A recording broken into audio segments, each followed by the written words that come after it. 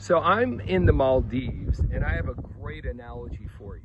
So think about this for a minute. I'm a big believer, if you follow me at all, that we are what we repeatedly do. I think Aristotle said that. I'm a big believer of compounding efforts. Compound interest is the strongest force on earth. That's what Einstein said years ago.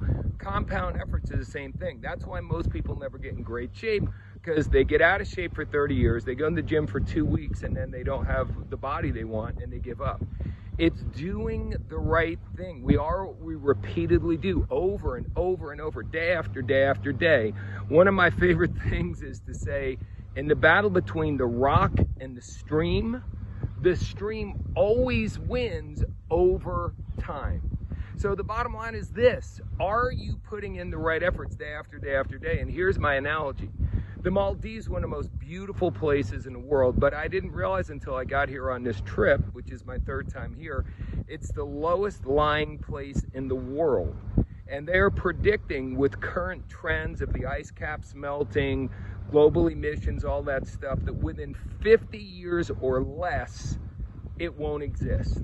Everything you see here will be underwater. It will literally not exist. So that goes to show you if you do the wrong thing over and over and over again, it may not be hurting you today.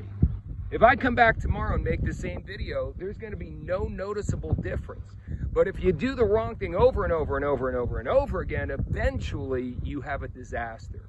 But if you do the right thing over and over and over again, that's why I always recommend the book, The Greatest Salesman in the World, to people. Even if you don't want to be a salesperson, the book is a quick little story, an easy read about creating the right habits. We are what we repeatedly do. Compound efforts. I didn't get to where I'm at because I was an overnight sensation. Most people aren't. I got to where I'm at because I did the work. I made the numbers my friend.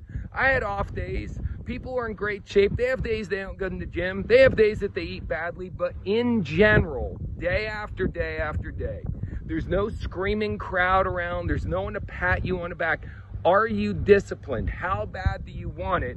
Because doing the right thing every day for your sales means you're making phone calls. No one's there to cheer you on. It's not glorious. A lot of people say we get praised in public for what we do in private. Whatever way I can share it with you, just understand this. Whatever you do over and over again is what you'll become. It's the truth for the Maldives. It's indisputable. It's going to happen at some point. Why don't you do something that's so powerful that when you do it day after day after day, it becomes indisputable that eventually you'll be as wealthy as you would like to be?